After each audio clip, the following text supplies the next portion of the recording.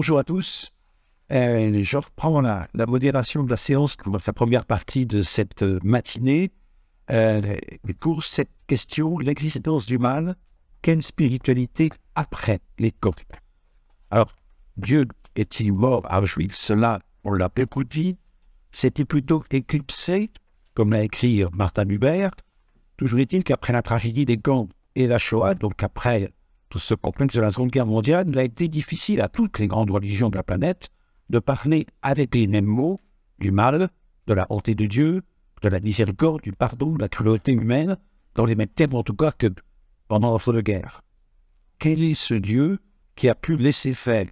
Cette question est posée par exemple par l'historien et philosophe juif Hans Jonas en 1984. Penseurs peut-être très nombreux à s'interroger. Auschwitz est le mot symbole, bien sûr, mais derrière, il y a toute l'horreur concentrationnaire, est-ce qu'elle démontre une de Dieu Est-ce qu'elle amène à dire Dieu autrement, à parler autrement Alors de cela, on va parler ce matin avec deux chercheurs et témoins, donc Frédéric Poulet et Olivier Kaufmann. Frédéric Poulet, bonjour, merci à l'un et l'autre d'être des nôtres ce matin. Vous êtes professeur de théologie dogmatique au Collège des Bernardins, catholique, souligné. Vous travaillez notamment sur la liturgie et l'Eucharistie, donc l'Eucharistie, ce sacrement, ce grand sacrement commun à l'ensemble des églises chrétiennes, et l'un des sacrements essentiels de l'Église catholique, vous êtes auteur notamment de Célébrer l'Eucharistie après Auschwitz. C'était en 2015 que vous avez publié cet ouvrage. Olivier Kaufmann, vous êtes grand rabbin de la synagogue de la place des Vosges, à Paris, et puis directeur du séminaire israélite de France. Vous êtes également membre de la commission culture juive de la Fondation pour la mémoire de la Shoah. Merci à tous deux. Dans un premier temps, vous allez exposer vos travaux sur ces questions que je, que je j'indiquais, et puis ensuite nous regarderons un temps d'échange avec Glasson. Frédéric Poulet, je vous propose d'ouvrir la réflexion. Merci, bonjour à toutes et à tous. Alors, j'ai intitulé mon propos Je n'ai d'autre fin que mes larmes, le jour, la nuit, moi qui chaque jour entends dire Où est-il, ton Dieu? Face au mal concentrationnaire, où est l'homme Où est Dieu? Le XXe siècle a été témoin de nombreux drames qui ont remis en question la capacité d'humanisation du christianisme et interrogé la présence et l'existence de Dieu.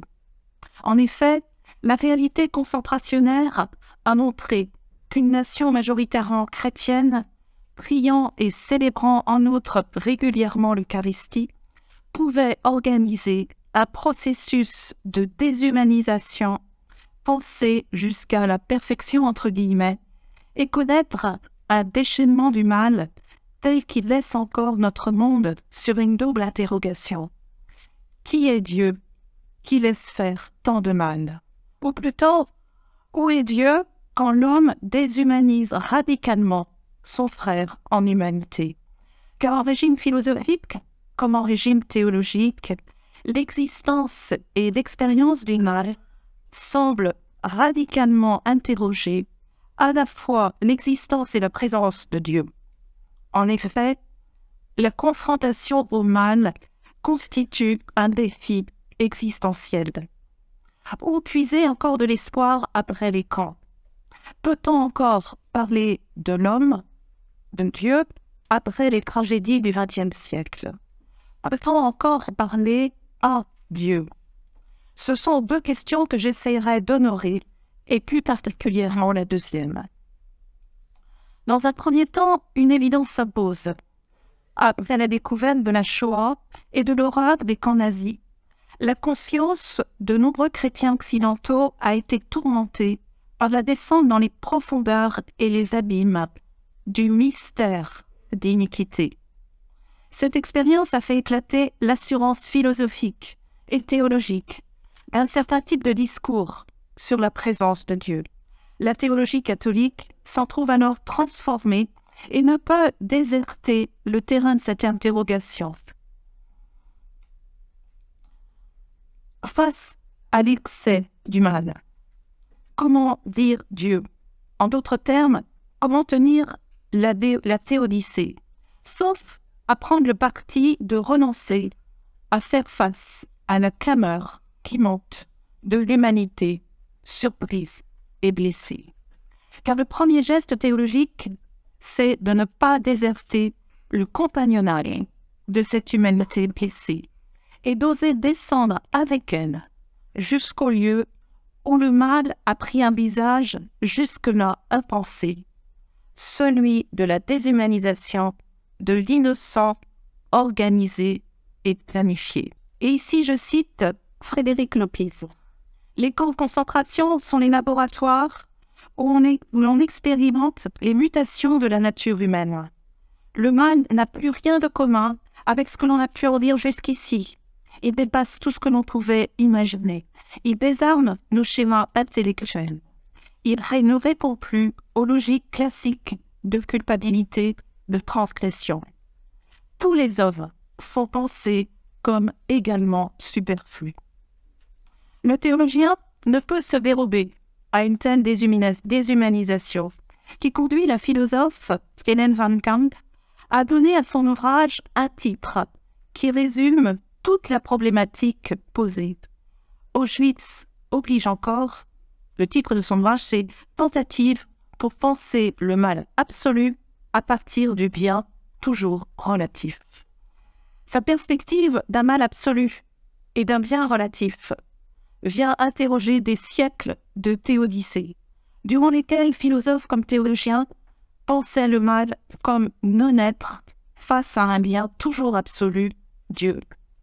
Elle va jusqu'à parler d'un mal qui n'est plus néant, mais qui a acquis dans l'univers concentrationnaire une substantification ou une certaine essentialisation et une détermination ontologique, voire une perfection.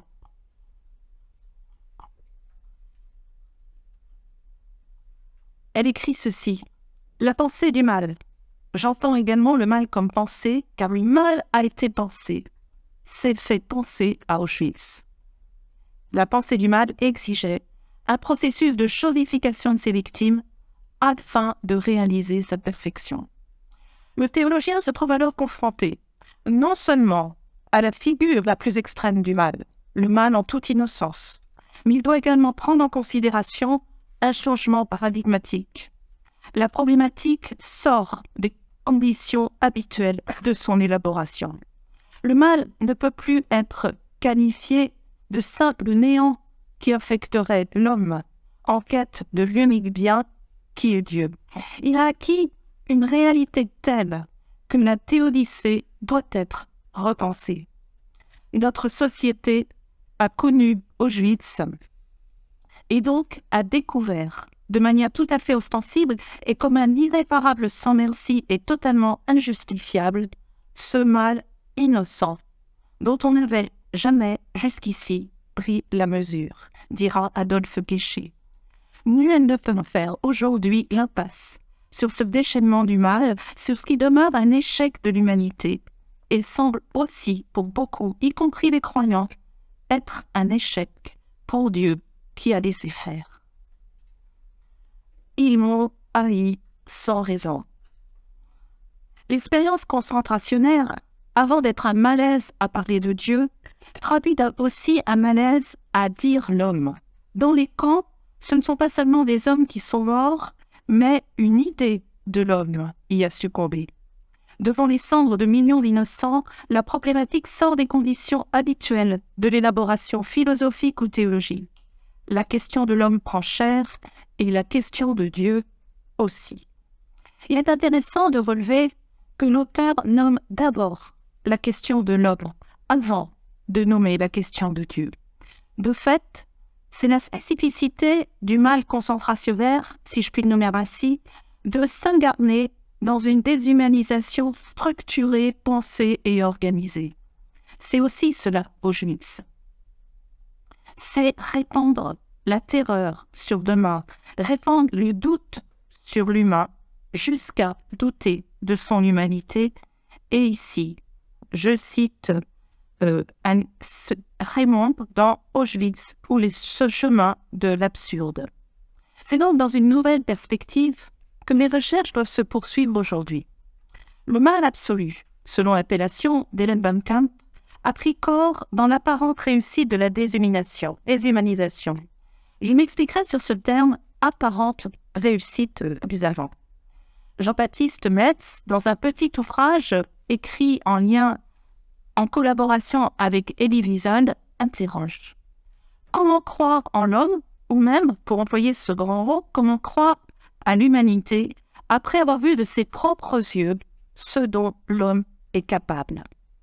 Dès lors, la théologie, tout comme la philosophie, ne peuvent se dérober à cette nécessité de penser le mal, ou plutôt de faire acte de foi en l'homme qui a commis ce mal et de foi en Dieu.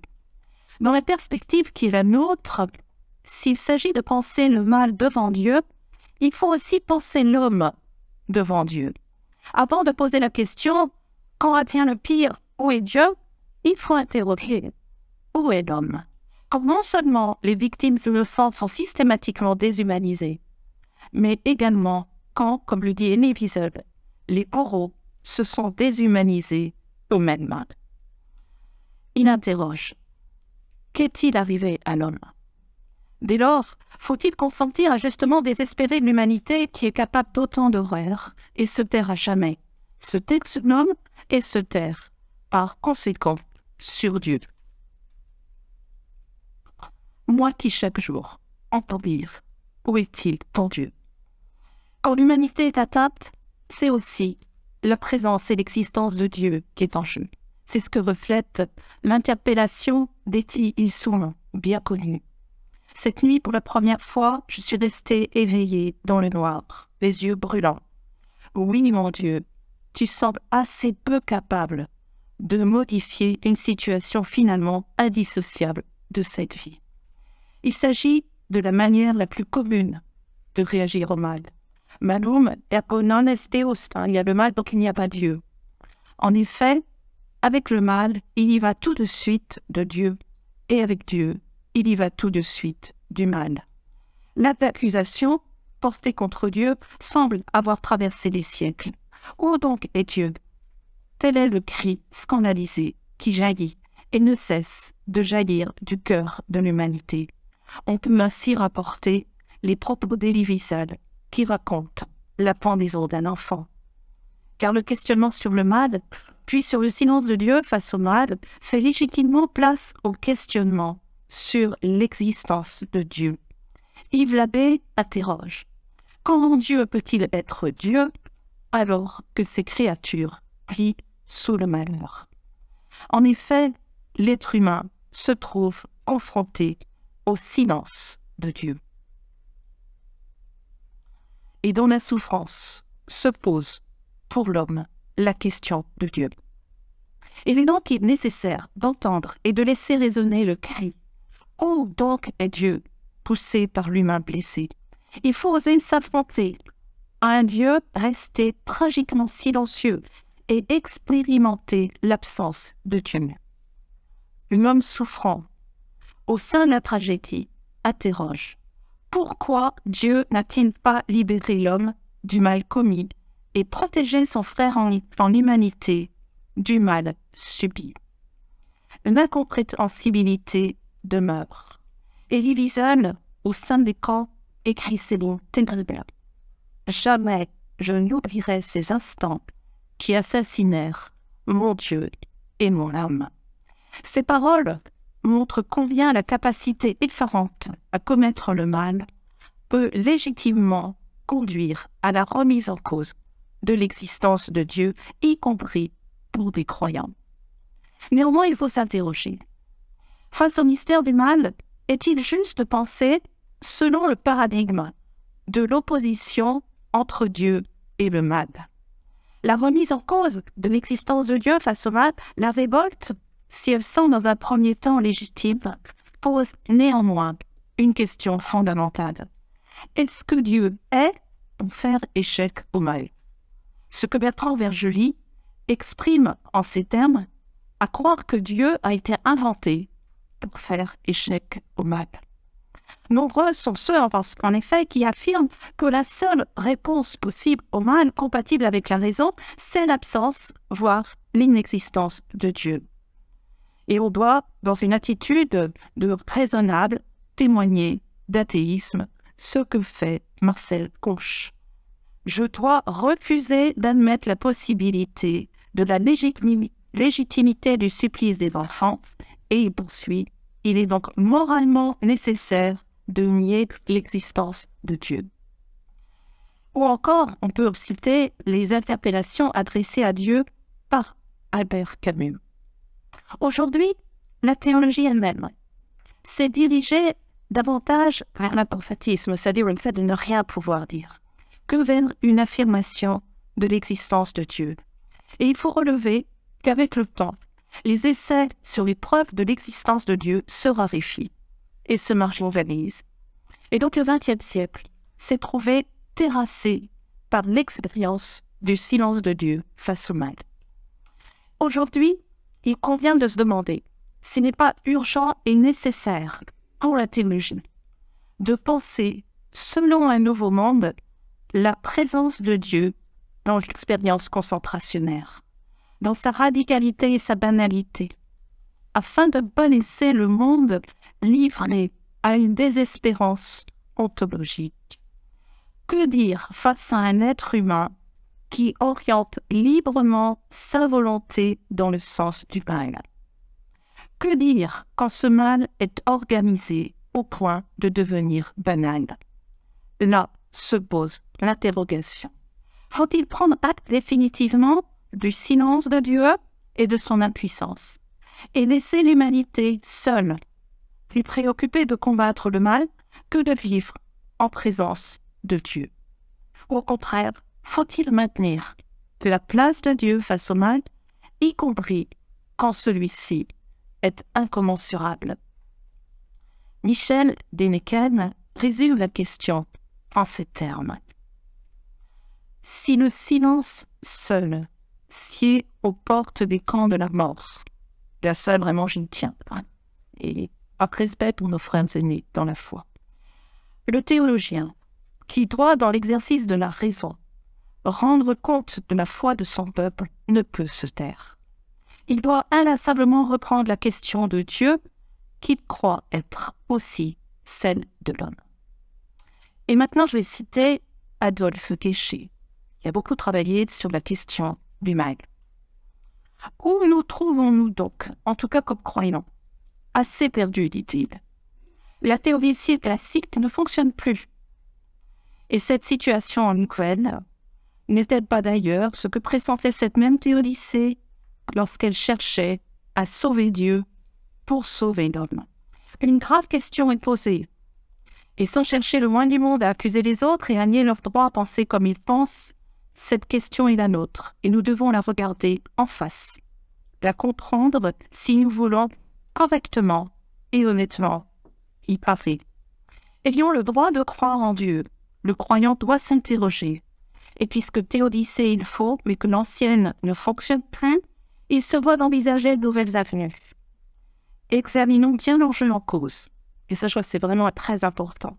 Là où l'histoire des dieux, il est clair que la théodicée perd son pouvoir de salut. L'objection du mal, juste la objection classique contre, Dieu, devient objection contre l'homme. Dieu parti, l'homme reste seul. Ce poids est lourd. Job est absolument seul. Tout revient à l'homme. Les théologiens spéculatifs, dit-il, et j'en suis, ont manqué le rendez-vous qui leur était adressé. C'est qu'ils ont laissé la théodicée en l'état. L'auteur termine en affirmant que les théologiens spéculatifs ont manqué le rendez-vous. Je ne suis pas tout à fait sûr que nous l'ayons manqué. Mais toi, Seigneur, ne sois pas loin. Ô ma force, viens vite à mon aide. Il nous faut maintenant dépasser les objections radicales et constater une chose. Au plus dense de la souffrance, quand le mystère d'iniquité semble se déchaîner, Dieu a été invoqué et prié. De fait, comme le faisait remarquer Jürgen Moltmann, pendant la Shoah, il ne s'est pas passé un seul jour dans les camps sans que fussent priés le Notre Père ou le Shema Israël. De même, on a continué à célébrer l'Eucharistie à Dachau ou à Dora. Ces expériences vécues et relatées montrent que l'homme, au plus dense du mystère d'iniquité à l'œuvre, reste capable de prier. Ethil Soum écrivait depuis le camp de Westerbork Je vais t'aider, mon Dieu, à ne pas t'éteindre en moi. Les exemples sont nombreux de cette permanence de la prière. Et comme l'écrit Jean-Yves Lacoste, car même la nuit n'ôte pas à l'homme le droit de tutoyer l'absolu. Parce que il est un fait qu'aucune entreprise de déshumanisation ne peut empêcher un point d'humanité qu'elle n'a pu atteindre, la capacité de prière, la capacité à nommer Dieu, la liberté de rester en relation avec Dieu. Jean-Yves Lacoste écrit C'est le destin de l'homme que de faire face à sa mort. Ce n'est pas son destin que de s'affronter à l'absolu. Nous sommes libres de nommer Dieu. Mon Dieu, mon Dieu, pourquoi m'as-tu abandonné? Car quel que soit le contenu de la prière, y compris si c'est un cri, prier, c'est être et demeurer humain. Toutes les tentatives de déshumanisation ne peuvent faire taire la trace de Dieu dans l'humanité. Prier, c'est le propre de l'homme et constitue la résistance ultime de l'humanité face aux entreprises de déshumanisation. Peu importe que cette prière soit le chant des lamentations, cri vers Dieu, action de grâce, bénédiction ou supplication. Ce qui importe, c'est que la prière est œuvre de liberté. Et à ce titre, elle n'appartient pas aux déterminations du camp. C'est l'expérience qu'a faite Jacques Sommet et qu'il relate en ces termes. La première étape, dit-il, porte sur Dieu et sur le mal à l'état pur ou presque. Et pourtant, je ne sais comment dire, la seule voie possible, donnée, qui se révèle comme une voie forte dans cette situation, c'est précisément la relation à Dieu. Un Dieu incompréhensible. Je puis librement dire, je crois en Dieu. Alors qu'il est emprisonné dans le camp de Dachau, il expérimente la liberté de choisir de s'exposer à la présence divine et de confesser sa foi. La prière ouvre sur un autre, sur un ailleurs. Choisir de prier constitue sans doute l'acte le plus humain qui soit, car il ouvre sur le plus divin. Dans toute prière, l'être humain choisit de vivre l'être dans le monde comme être face à Dieu. Et ici, je cite encore Jacques Sommet, il est là, je l'aurai tout à l'heure au coin de la baraque, nous nous rencontrerons. Dès lors, parce qu'elle permet de prendre la distance la plus grande par rapport à ce que Jean-Yves Lacoste nomme les déterminations historiales de notre être, la prière est le lieu théologique où le monde, quel qu'il soit, ne peut pas s'interposer entre Dieu et l'homme où les forces du mal restent réduites à néant. La prière se situe dans l'histoire, mais elle dit plus qu'une histoire, où parfois Dieu peut sembler absent. La prière n'a aucun impact historique, elle ne change rien aux catastrophes. Elle est essentielle pourtant à l'histoire du monde. Elle est un non-événement et elle dit pourtant l'essentiel. Elle dit le poids du mystère de l'humain et le poids du mystère de Dieu. Elle participe à la transformation du monde. Elle assume les situations vécues sans être une évasion ni une consolation à bon marché. Elle possède une dimension que nous qualifierons de tangentielle par rapport au monde, c'est-à-dire à la fois en contact, sans être entièrement du monde. Elle fait œuvre de négation et de position. Nous contestons, dit Jean-Yves Lacoste, lorsque nous tentons de prier, que l'être dans le monde détiennent toutes les raisons de notre être. Celui qui prie dans les situations extrêmes ose proclamer Béni soit le Seigneur au moment et en un lieu où chacun expérimente profondément l'absence de Dieu. Et on comprend qu'une telle attitude interroge, qu'elle puisse être perçue comme une fuite face au mal, voire comme une faute morale, comme l'exprime Marcel Conche.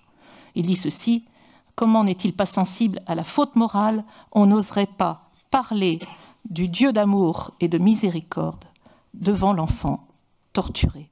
Et pourtant, si, il faut prier. La prière est attestation et contestation face au mal, même si elle demeure dans l'ordre de l'inévidence et de la transgression. Elle peut sembler inutile, voire constituer une évasion ou un rêve, alors qu'elle est l'acte de résistance le plus absolu qui soit, car elle est attestation d'humanité. En ce sens, elle est à la fois essentielle pour le monde et un lieu d'extrême fragilité.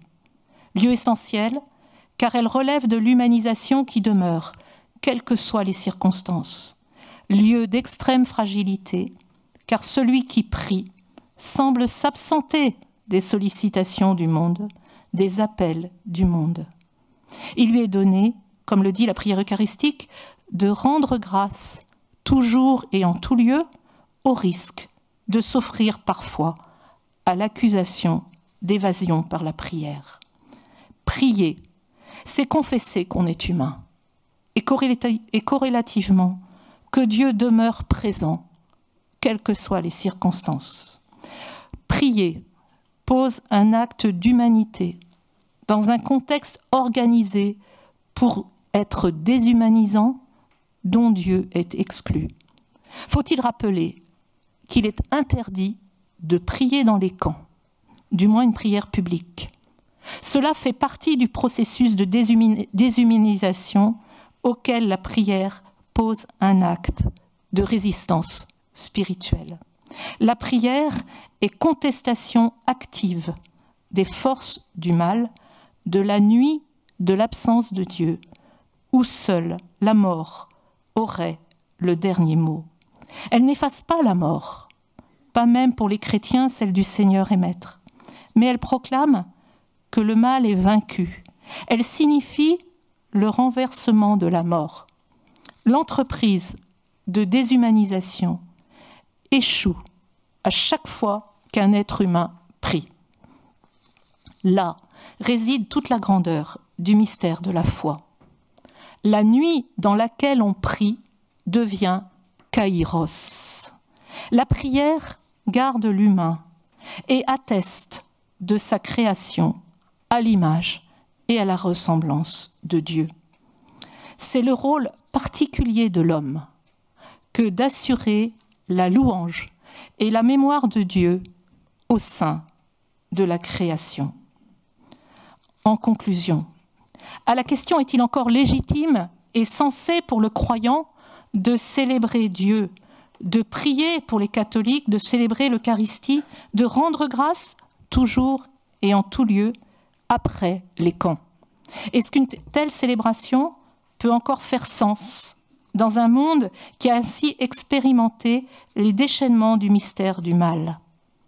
La réponse est oui, car en priant dans les camps, l'humain a vaincu le mal à l'état pur, ou presque il est demeuré fils et fille de Dieu. Il n'a pas eu le dernier mot. Jean-Baptiste Metz écrit Nous pouvons et devons prier après Auschwitz, parce que même à Auschwitz, dans l'enfer d'Auschwitz, ils ont prié. Et grâce à ceux qui ont prié dans les camps, il est aujourd'hui possible de remettre en question l'affirmation d'Adolphe Guéchet les théologiens n'ont pas manqué le rendez-vous de la théodicée. Elle passe maintenant par d'autres lieux, et notamment la phénoménologie de la prière, lieu d'humanité, lieu de résistance spirituelle et lieu d'affirmation de la présence et donc de l'existence de Dieu. C'est à partir de cette approche phénoménologique que l'on pourra rendre compte de la présence de Dieu au cœur du mystère d'iniquité. Cette spécificité de la prière ouvre la perspective d'une nouvelle herméneutique de la théodicée. Il s'agira alors de considérer la problématique à partir d'un nouveau lieu, la mise à l'écart de celui qui prie et qui, ce faisant, entre en résistance spirituelle. le priant reste humain, parce que capable de nommer Dieu, capable d'assurer le rôle de supplication au sein d'un monde brisé. Il joue son rôle de créature à l'image et à la ressemblance de Dieu. La prière n'est pas de l'ordre de l'élaboration conceptuelle, mais elle permet une lecture des événements avec un nouveau prisme, critique, subversif par rapport aux événements. Parce que la prière s'inscrit sur le mode de la non-nécessité, elle permet de faire la différence entre non-événement et indifférence au mal. Prier, c'est dire que Dieu est présent au cœur du mystère d'iniquité et dire et proclamer que l'homme n'est pas anéanti. Nommer le mal devant Dieu permet ainsi de ne pas laisser l'homme dans une impasse existentielle. Il reste et demeure homo capax dei, homme capable de Dieu. Si c'est un homme, dit Primo Levi,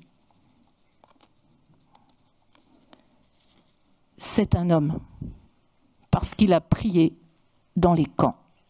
Merci à ceux qui ont prié dans les camps et qui ont ainsi sauvé l'humanité. Merci beaucoup.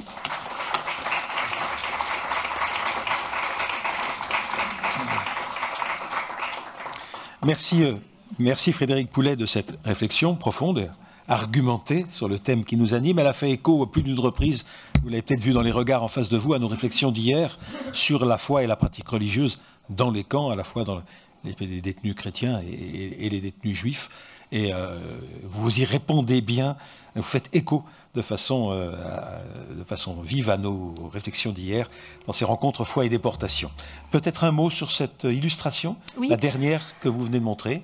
Alors c'est en fait euh, une tapisserie de Maurice de la Pintière qui appartient au fonds UCO, Université catholique de l'Ouest, Maurice de la Pintière a été emprisonné au camp de Dora et il avait fait les beaux-arts. Et donc, euh, tout au long même de son emprisonnement, il a pu faire des lavis. Et quand il est rentré euh, des camps, il a euh, fait un certain nombre de tapisseries hein, qui sont visibles aujourd'hui en, Maine-et-Loire et en Vendée. Il a fait, j'ai l'autorisation hein, de, sa famille et puis de lui-même parce que je l'ai connu, d'utiliser cette tapisserie que, j'aime beaucoup parce que vous voyez ici le déporté Hein. Euh, derrière, vous avez la phrase de Dante, hein, vous qui entrez euh, ici, laissez toute espérance. On voit euh, les, ombres de, la torture, puisque c'était un camp où il, portait des poutres, etc. Et vous voyez ce, ce déporté illuminé. Donc il tient dans les mains une flamme et tout son être est dans la lumière. Son squelette qu'on voit, on voit pratiquement toute sa poitrine en forme de squelette, est dans la lumière, son visage est dans la lumière, ses genoux et ses pieds. Voilà, il porte son habit de déporté, mais il prie et il reste lumineux de la présence de Dieu, il reste humain. Merci à vous. Ça mériterait cette précision. Olivier Kaufmann, je me tourne vers vous maintenant. Nous nous tournons vers vous maintenant pour, voir dans votre tradition religieuse comment on s'est emparé, on a vécu cet après à Auschwitz.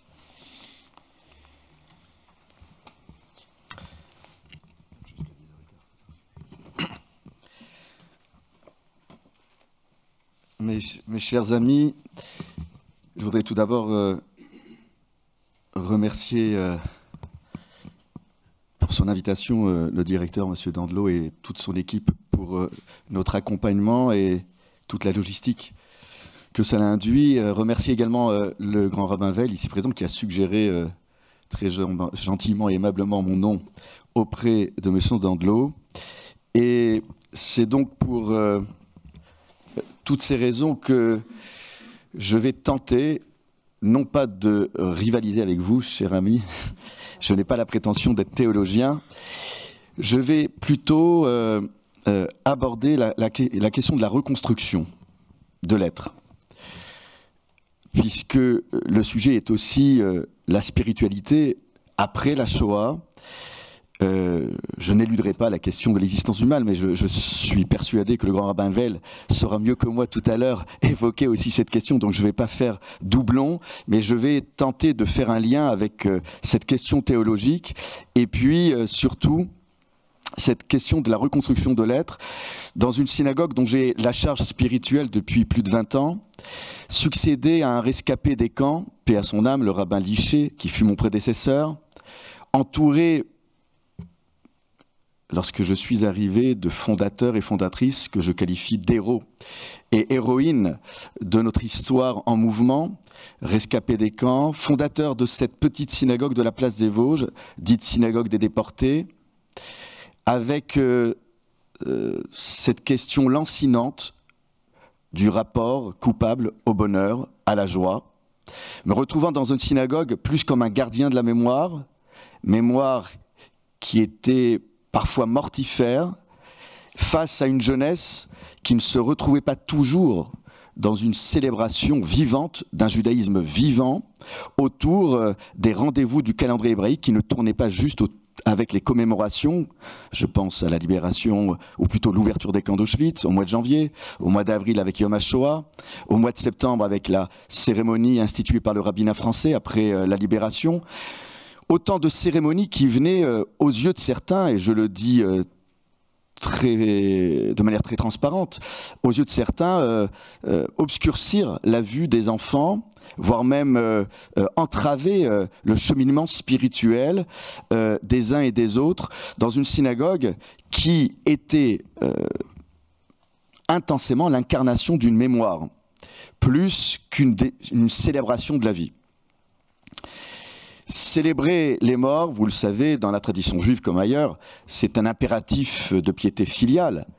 Mais célébrer la vie, c'est d'autant plus important que tous nos rendez-vous dans le calendrier liturgique viennent mettre le corps humain, l'esprit, en mouvement. Et c'est donc euh, là encore cette terrible énigme qu'est la souffrance humaine face à la bonté divine terrible énigme telle qu'elle est évoquée dans euh, le Talmud, avec euh, un mal qui serait la création de Dieu. Et le Talmud de nous expliquer que ce qui viendrait nous permettre de lutter contre le mal, c'est euh, le don de la Torah, une Torah qui n'est pas juste une narration, qui n'est pas juste un livre racontant l'histoire de la naissance de l'humanité adamique et euh, l'histoire de la naissance d'Israël, mais qui vient aussi nous rappeler qu'il y a un code législatif, qu'il y a des lois rationnelles et irrationnelles, et qui viendraient normalement nous permettre non seulement de donner un sens à notre vie, mais de lutter contre ces événements qui viennent à chaque fois entraver notre cheminement sur Terre. L'existence du mal d'une part, c'est la question que vous posez, et d'autre part, me semble-t-il, cette spiritualité réinventée pour une jeunesse, surtout celle que je me devais d'accompagner, c'est-à-dire les enfants, les petits-enfants et les arrière-petits-enfants de déportés.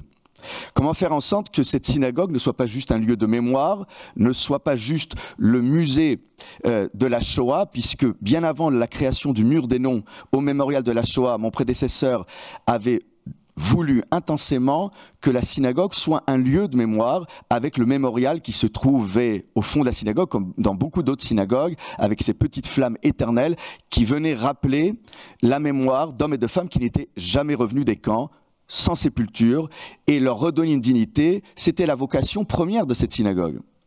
Comment faire en sorte, en tant que nouveau rabbin, d'être à la fois fidèle à cette mémoire filiale, tout en proposant, non pas une réinvention d'un judaïsme dont j'étais euh, l'héritier, mais tout simplement faire en sorte que ces hommes et femmes, de toutes générations confondues, puissent se réapproprier un patrimoine qui leur semblait totalement étranger à leurs appréhensions du quotidien, comment gérer la souffrance de leurs parents, comment gérer les non-dits, comment gérer les tabous, comment gérer les silences et parfois les fractures de transmission qui n'étaient pas juste au niveau de la spiritualité, mais qui parfois euh, euh, s'inséraient dans tous les pans intimes de familles qui tentaient tant bien que mal de se reconstruire. J'étais donc plus qu'un rabbin, j'étais censé être un facilitateur, un accompagnateur dans une reconstruction pour chacune des générations qui composaient cette synagogue de la place des Vosges, dans un quartier, le Pletzel, ce vieux quartier juif, à partir duquel nombreux ont été euh, arrêtés par la police française. Ces hommes et femmes qui, pour certains, ne parlaient pas encore français, parlaient yiddish, et qui croyaient dans les vertus euh, euh, de cette France, terre d'accueil, terre des droits de l'homme, et qui se sont retrouvés dans ce quartier qui, à l'époque, était un quartier pauvre.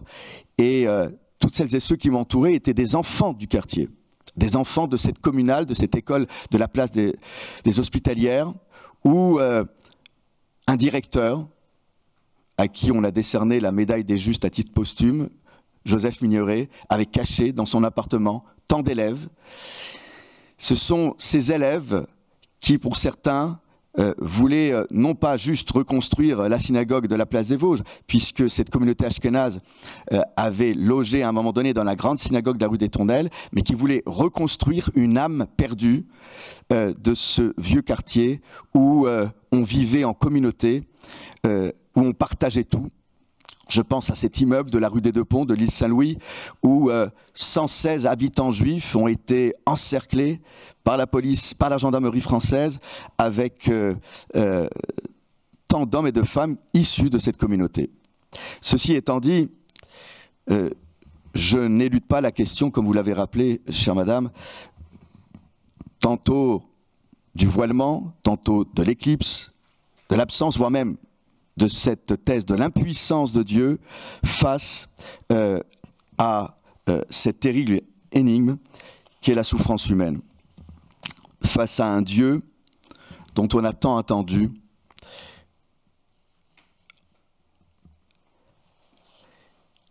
C'est euh, la première thèse que je voulais vous livrer. C'est un retrait de la divinité et surtout cette thèse de l'acceptation euh, que Dieu dépende de ses créatures. L'homme créé à l'image de Dieu détient désormais la responsabilité du sort du monde, et par-delà, au risque de choquer, de celui de la divinité elle-même. Comme si, euh, aux yeux de certains rabbins kabbalistes, cette divinité ne pouvait plus agir et elle devait subir les conséquences inhérentes à son projet créateur. C'est ce que André Neher, natif d'Aubernay, appelé le pari de la liberté et à la fois son incertitude. Ce sont euh, toutes ces questions posées par la mystique juive, voire même euh, la passivité traitée comme un attribut divin par excellence, n'hésitant pas, pardon, à évoquer Dieu comme euh, un Dieu avec ses souffrances, ses joies, son empathie pour tous ceux que la douleur éprouve, singulièrement pour les enfants d'Israël, mais sans perspective immédiate de salut. Ce sont les fameuses routes d'un exil parfois trop prolongé, l'exil du peuple d'Israël. Alors cette théologie peut étonner, puisqu'elle fait de Dieu, qui est censé un être suprême, un Dieu parfois euh, impassible, tout en restant euh, éternel.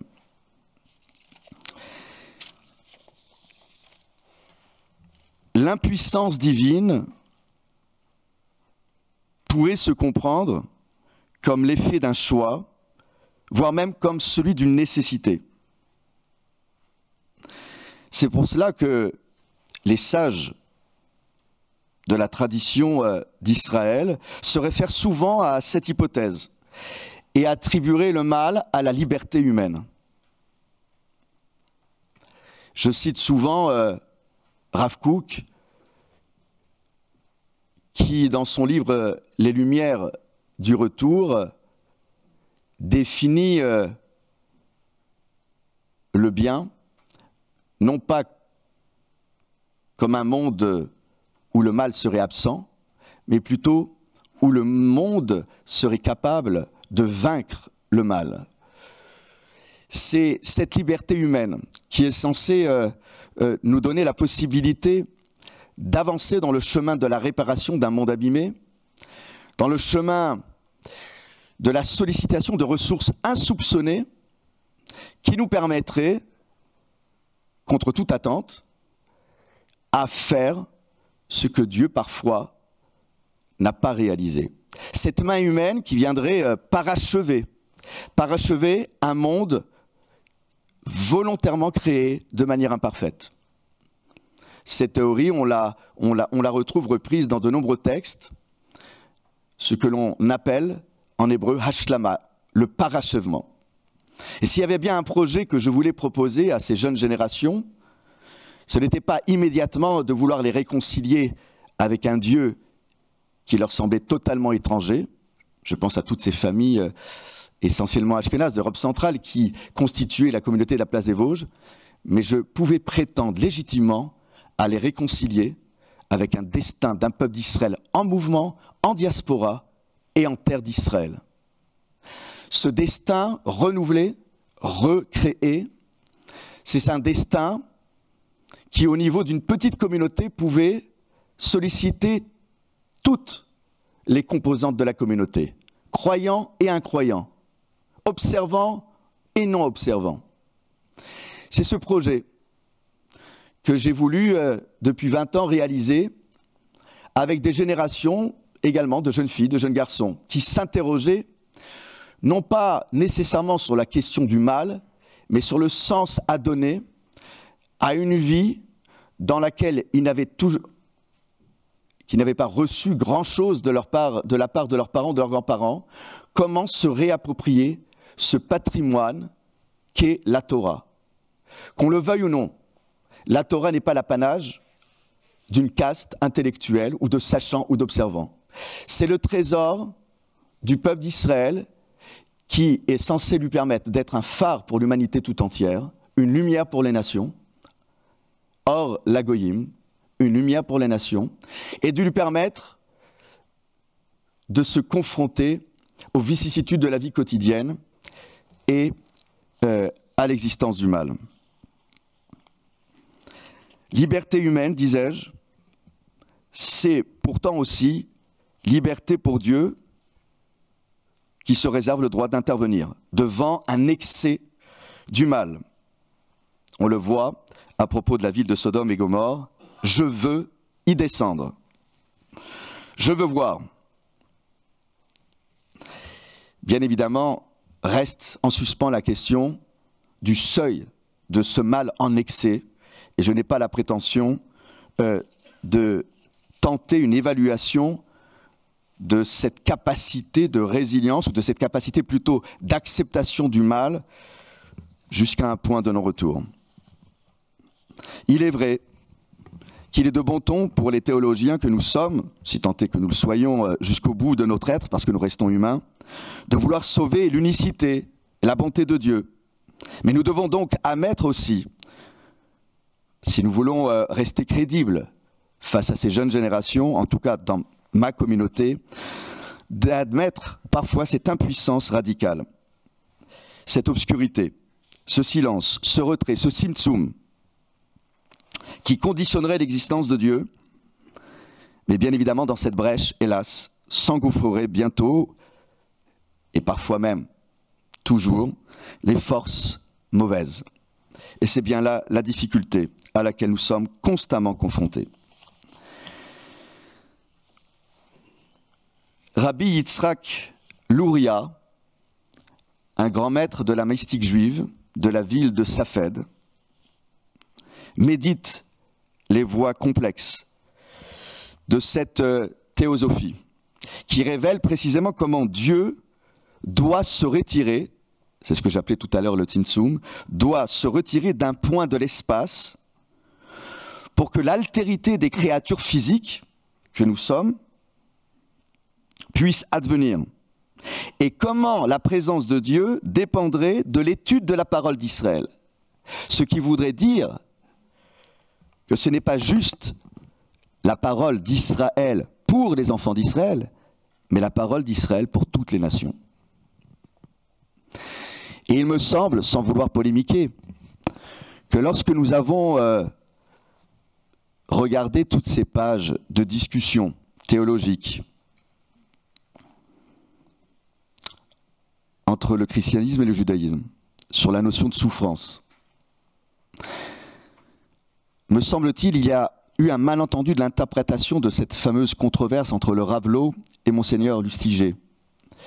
Et je ne veux pas revenir sur les propos du Ravelot, mais je voudrais juste faire comprendre que pour le judaïsme, il est impensable, je dis bien il est impensable, et ce message même serait inaudible pour nos déportés, il est impensable de dire que pour euh, obtenir je ne sais quelle félicité ou rédemption, il faudrait passer nécessairement par la souffrance. Et c'est peut-être le léger malentendu. Je dis bien léger malentendu, sans vouloir vous enfoncer. C'est que il y a, eu des incompréhensions. Il faut être honnête. Il y a eu des incompréhensions. Je ne vais pas revenir sur la question du couvent des Carmélites à Auschwitz. Oui, mais on ne peut pas, je veux dire, on ne peut pas jeter, balayer d'un revers de main euh, les Carmélites parce que je suis persuadé qu'elles étaient animées des meilleures intentions. Je reste persuadé. Mais il faut comprendre aussi que, comme dit André Neher, Auschwitz, c'est l'impensable, c'est l'incompensable. Et vouloir absolument euh, faire une lecture théologique aboutie, moi j'en suis incapable. Et je pense que c'est précisément euh, toutes ces questions euh, qui restent en nous. Oui, il est sûrement choquant de dire que, comme le dit Rabbi Louria, que Dieu pouvait à la fois se tenir en proximité des hommes, qu'il était sûrement capable de dissiper les brumes qui forment et qui se reforment autour de nous. C'est choquant de dire que tout dépendrait de l'initiative des actions humaines en bas. Parce que là, les hommes disposent de la liberté d'orienter leur propre personne et les mondes dans la direction qu'ils désirent. C'est choquant, comme dit le Rabbi, Rabbi Chaim de Volodjin dans son livre Nefesh HaChaim, l'âme de la vie. C'est sûrement choquant de lire que Dieu a besoin des créatures pour s'associer au monde. C'est sûrement choquant que pour certains, il ne faudrait pas parler de retrait, mais plutôt de voilement de Dieu. Que dire que peut-être Dieu ne se serait pas retiré du monde, qu'il reste là, mais il se serait revêtu d'habits, pour citer ce texte, afin que les créatures ne soient pas anéanties par l'éclat de sa lumière. Vous aurez compris que quelle que soit l'interprétation que nous voulons retenir, nous sommes face à la question de l'impuissance d'un Dieu et de sa dépendance envers l'homme à la fois. Je n'ai pas, encore une fois, la prétention d'expliquer ce concept d'impuissance. Je voulais juste faire état, de manière très synthétique, j'en conviens, de ce débat qui ne cessera jamais au sein euh, de la tradition juive. Je disais il y a quelques instants que la Torah a vocation à aider l'homme à parachever la création du monde. Mais le problème de la Torah, c'est qu'elle nous livre à cet, effet pêle-mêle des moments de gravité, de rire, de spiritualité et d'humour. Alors oui, ça peut paraître un humour décalé lorsque la Torah s'adresse aux êtres qui seraient confrontés au quotidien, tantôt au bonheur, tantôt à l'anxiété face au travers humain. Mais c'est parce que l'humour, dans, dans nos traditions, a pour fonction de ne pas nous laisser envahir par la tragédie des événements vécus, que la Torah en use. Oui, c'est vrai. La Torah a de l'humour lorsqu'elle nous présente Dieu, acceptant d'entrer dans le jeu d'Adam qui se cache après avoir consommé le fruit défendu. André Neher scrute en profondeur cette situation et il la dépeint comme la première ruse de l'histoire biblique. En hébreu, la nudité, arum, cette nudité d'Adam, signifie aussi la ruse d'Adam. Et Dieu relèverait le défi en participant à cette ruse.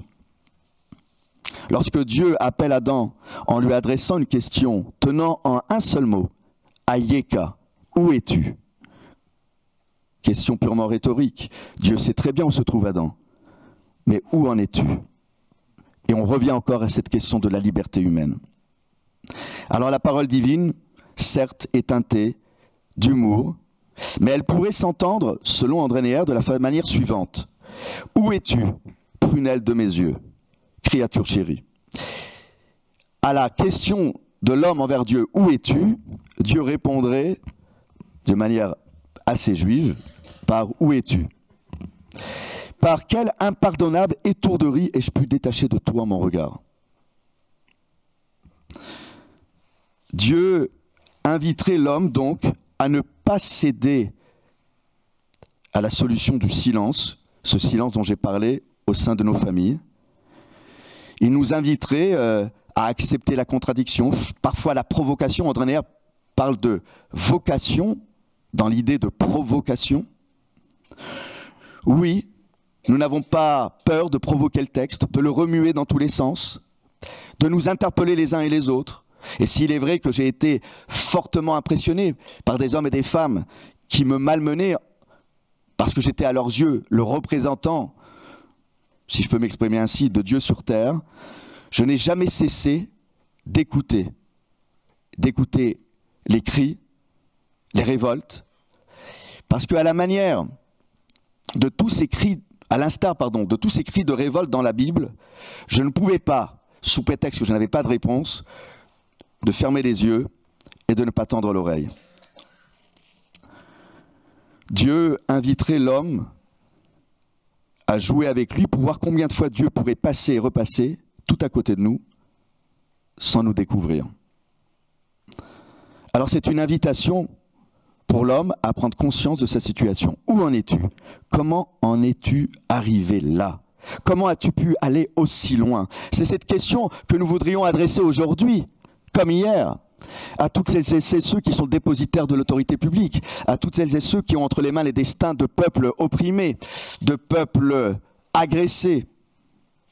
La guerre n'est-elle pas à nos portes? À tout homme, Dieu adresserait cette question permanente. Où es-tu? Où en es-tu?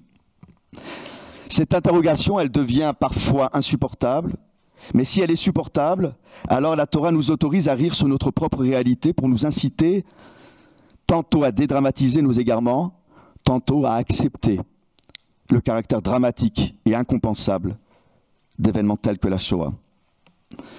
La Torah pourtant nous encourage à, demeurer à demeurer avec une âme d'enfant pour ne jamais cesser d'espérer en la reconstruction de notre être.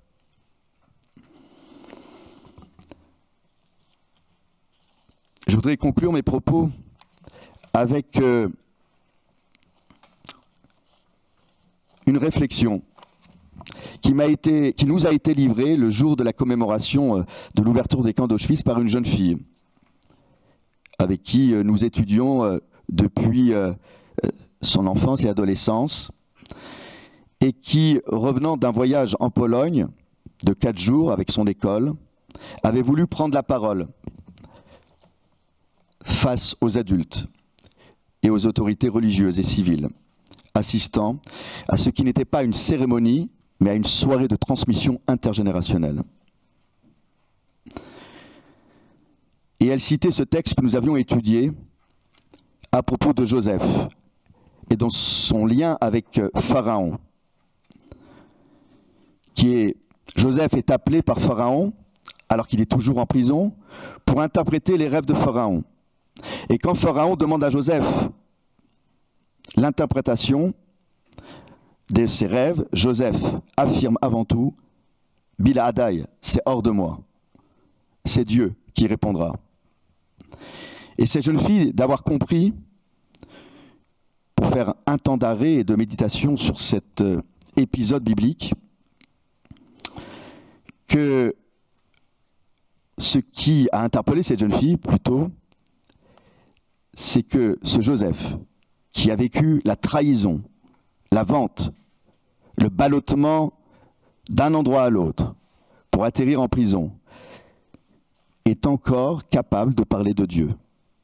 Et alors qu'il est interrogé par un tyran, par un despote, la réponse liminaire que fait Joseph, hors de moi, c'est Dieu qui me permettra d'interpréter tes rêves.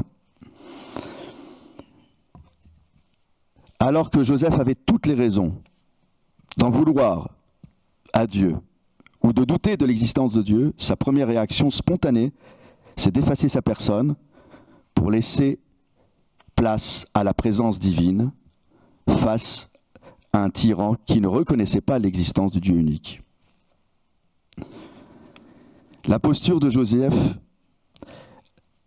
et je cite ces jeunes filles, m'a déculpabilisé de ne pas avoir été ébranlé dans ma foi en revenant d'un voyage qui aurait pu avoir raison de mes convictions religieuses. La rationalité, dit-elle, voudrait que sortant d'événements comme celui de la Shoah, on ne veuille plus entendre parler de Dieu.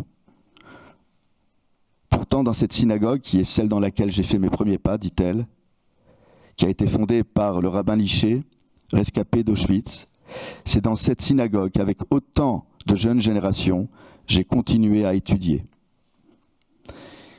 Pour ne pas disparaître, pour ne pas s'éteindre, je continuerai d'étudier la Torah. Et même si je reviens d'Auschwitz pétri de sentiments contradictoires, c'est parce que j'entends les mots de ce texte biblique, que je comprends ce que je ressens à la fois, mais que je me sens digne d'être descendante de Joseph. Je me dis que ma croyance est fondée et que c'est mon devoir de la perpétuer. Malgré toutes les disparitions dans ma famille liées à la Shoah, je suis là devant vous, bien vivante, bien croyante. Et c'est parce que j'entends encore la réaction de Joseph que ce n'est sûrement pas par hasard que je suis devant vous. Comme je l'avais entendu le jour de ma bat mitzvah, la place des rouleaux de la Torah n'est pas dans des vitrines derrière dans des musées. C'est un rouleau vivant. C'est une Torah de vie. Et c'est parce que je suis une digne descendante de Joseph que je me dois de faire vivre la Torah au quotidien et de redoubler d'efforts pour renforcer mon étude de la Torah.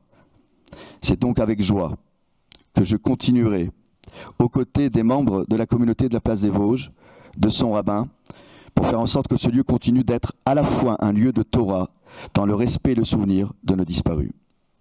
Je crois que ce message d'une jeune fille euh, de 16 ans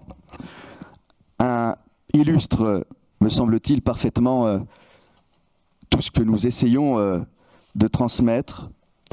Je voudrais aussi profiter de ces dernières minutes pour honorer la mémoire de mon grand-père, le grand rabbin Chili.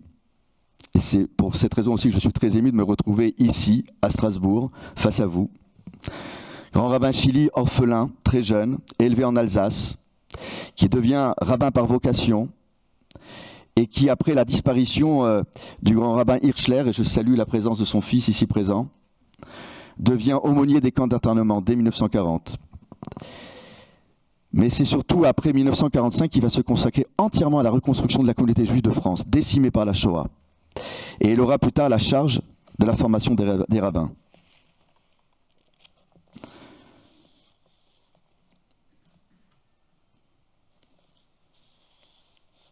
Le grand rabbin Goldman définissait euh, le grand rabbin Chili comme un être résilient. Et bien qu'il n'ait pas été épargné par les coups du sort durant son enfance, bien qu'il ait été témoin des horreurs de la Shoah, il croyait fermement en la bonté divine et à la bonté des hommes. C'est par ces mots que je voulais conclure mes propos. Et euh, encore une fois, affirmer haut et fort que entre nos mains, croyants et incroyants, nous avons le destin de cette reconstruction de l'être en devenir. Je vous remercie.